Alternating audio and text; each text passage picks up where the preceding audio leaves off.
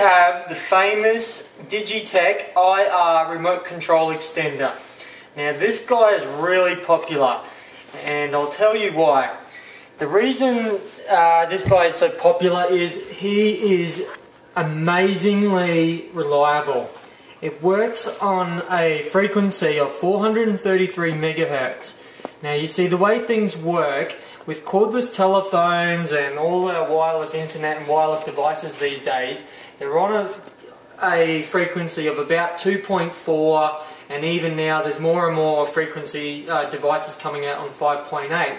So they're competing with one another and they get a lot of interference. This guy, however, being on 4, 433 megahertz is not competing with any other wireless devices. So that is why we guarantee this guy will work every single time.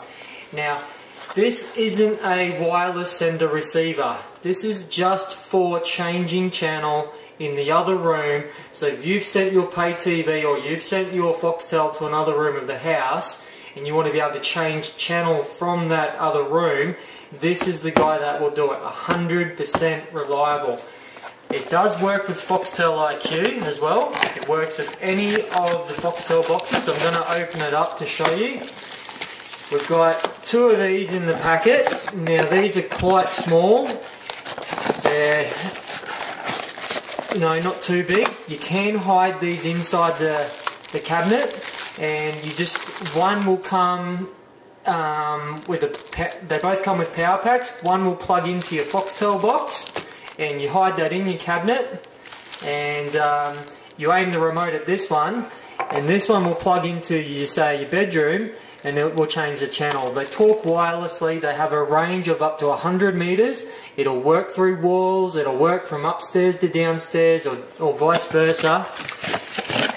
There is one little trick though. Now it comes with this little infrared eye, it's called, which is just that little bit there. Just to open it up.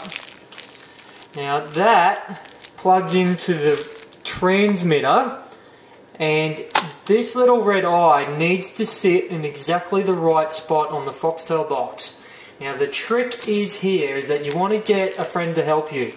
You want to have them sit in the room in the Foxtel room where the where the Foxtel's been sent to and consistently change the channel on the Foxtel remote for example while you move this slowly in front of the Foxtel box until you start to see the channel change. And that's when you know you've got it in the right spot.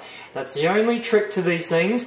They work 100% reliably all the time. When you get that in the right spot, you can blue tack it down and it'll never fail. These guys, we sell a lot of them. We use them on professional installations and they're absolutely amazing.